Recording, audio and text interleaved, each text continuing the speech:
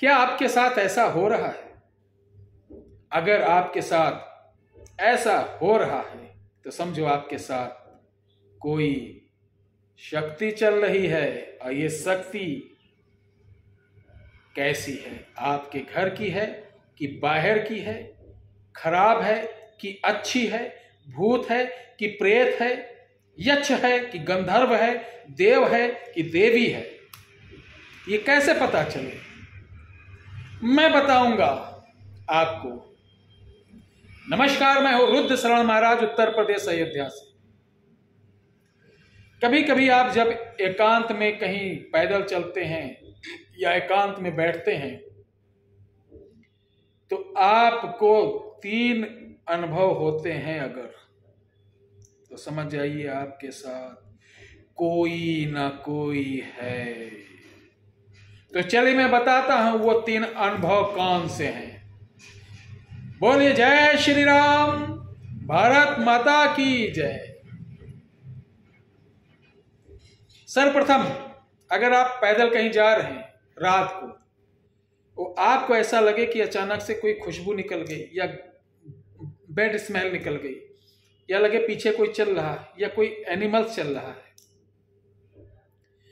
अगर जानवर लगे कि कोई कुत्ता आगे चल रहा है, पीछे चल रहा है, तब ये मत लेना कि कुत्ता चल रहा है तो भैरव बाबा आपके साथ है।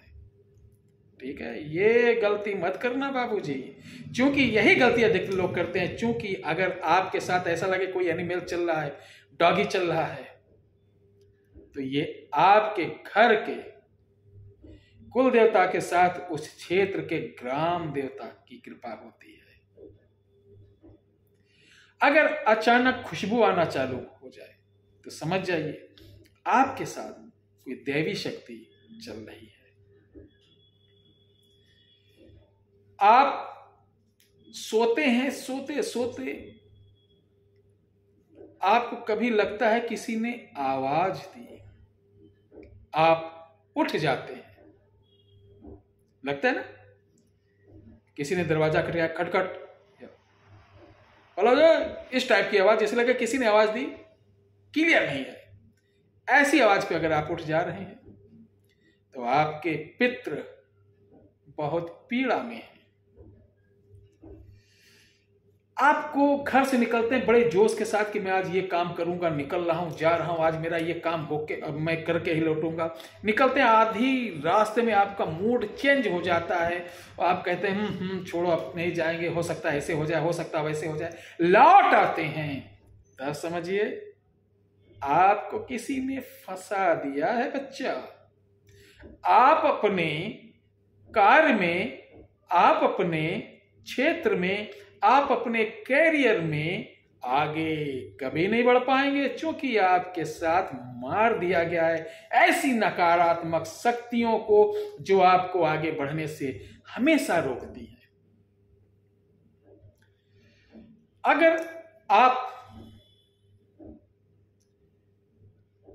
कहीं कार्यक्रम के लिए, किसी इंपॉर्टेंट काम के लिए घर से निकलते हैं और निकलते ही आपको बार बार कभी ऐसा हो, एक बार नहीं, बार बार, कई बार ऐसा हो सके नोटिस करना कि आपको लगता है कि हाँ वॉशरूम मुझे जाना, बहुत कसके फ्रेश होना है। तो समझ जाइएगा कि जिस जगह आपका घर है, जिस जगह आपका निर्माण करके मकान बनाया है, उस जगह। दीमक या नेवले या सेही का या कब्र ये ज़रूर रहा होगा। और उसके प्रभाव से वहाँ पर कुछ पंचकी शक्तियाँ रहती। पंचकी होती हैं जो बच्चे बच्चे छठे दिन मर जाते हैं, सौर में मर जाते हैं, वो बच्चे। तो ये है कारण।